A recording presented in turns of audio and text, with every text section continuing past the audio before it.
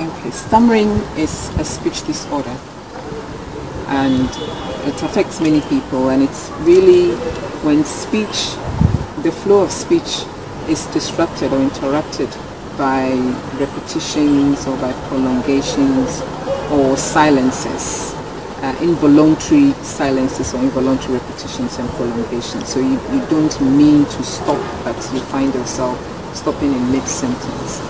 Um, which we normally call a block. And it affects the lives of many people who stammer.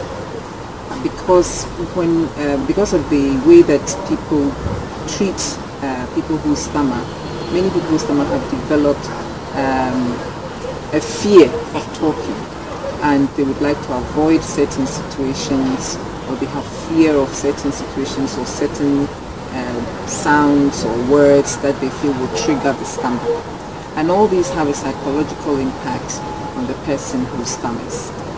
Because many times they are ridiculed, uh, they are dismissed, and in fact even sometimes people give the impression that the person who stammers um, does not have it up there or there's something wrong with their brains.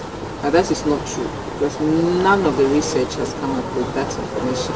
And all the research suggests that people who stammer have um, perfect intellect. They don't have any problems with their brain. Now because of the attitude to stammering and because of the way that people treat people who stammer, we now have the Ghana Stammering Association, which was set up sometime this year.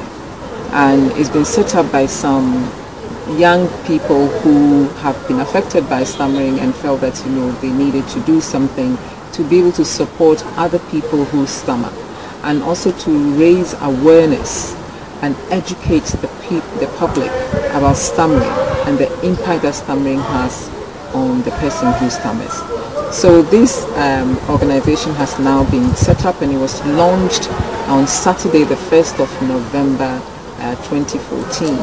Um, so if you want to be part of this, if you want help with your stammer, you need support because you stammer or you have a child who stammers and you want uh, some information and to know more about how you can help that child, then get in touch with the Ghana Stammering Association on Facebook.